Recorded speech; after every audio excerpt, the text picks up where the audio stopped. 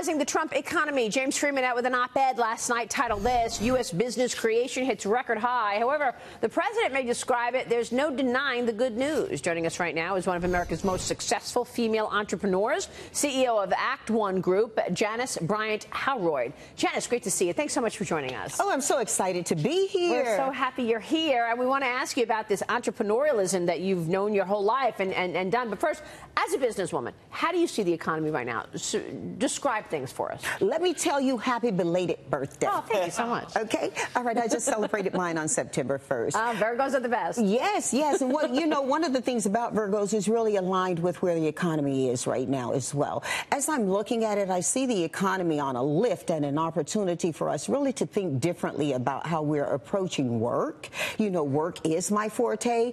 And as I look at where we are having the difference in the employment that I'm seeing and the way companies are employing, I'm seeing it to actually preface versus follow where the uh, economy is. So when you're seeing in, uh, instances, as I do in my company, where companies are looking for workers across different skill sets and non-traditional ways they're hiring, we're also looking at the economy lifting in that way. And, and, Does that make sense? Absolutely. And one thing that you wrote about is the fact that you're seeing more startup activity. Yeah. And for a little while, we were questioning is entrepreneurialism still alive and well? Yeah, but it looks like last three quarters a real ramp up in uh, in people applying basically to the government to be able to tax so new businesses, that's how we measure new business formation. And does that square with uh, what you're seeing? Square so well with what I'm seeing. As a matter of fact, historically, let's look at my business.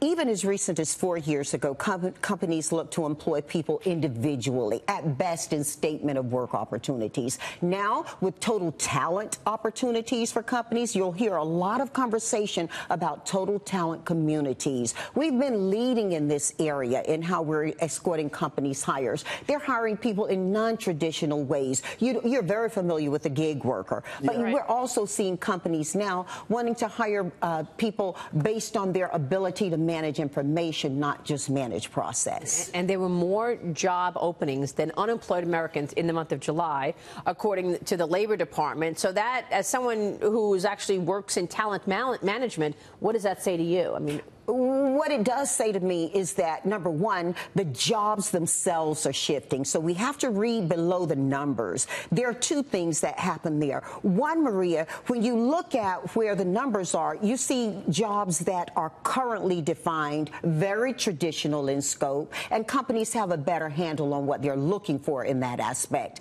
Then you're seeing companies who I would venture to say that 60% of the jobs, 60% or more of the jobs that will exist that companies companies will hire for within the next 18, uh, next 18 months yeah. are not fully yet defined. We need to train those people in order to thrive in this new economy, Morgan. So, Janice, the majority of, of new uh, uh, jobs, entrepreneurs, are actually from women. But I, but what I've read is that it's rarely really hard for women-owned businesses to get over that uh, you know million-dollar mark in, in revenue. So, how what's your advice for women and especially women of color starting new businesses? in this economy? Well, you know, the same advice I give to women and women of color is advice I give to anyone. And I'm out there on it, you know, my ABCs. You got to ask the right questions, then listen, listen, listen for the right answers. We've really got to be in tune, active listeners, and then be where you say you're going to be, when you say you're going to be, but most importantly, how you say you're going to be. That means that you've got to be friendly with this age of uh, artificial intelligence and, and, and, and robotics, you know. Don't see it as competing for your workforce. See it as being cooperative with it. If you're a woman who's starting a business, chances are you may be moving from not just an experience, but a desire based opportunity to create an economic environment. So that means that then you're going to be taking a lot of your own natural energy into it as well, but you can't confuse that. You can't afford to confuse that with where the value is. Uh, and the C is, quite frankly, connectivity. We've got to have circular connectivity. That means that you've got to be engaged in a way that allows you to communicate with the people who need to be communicated with in a complete manner and you've got to be able to do that across you, you know my son has a friend who started a business he started the business in um, uh, supporting autism. His first client was an international client. So you get where I'm talking Mm. about in your ability to communicate.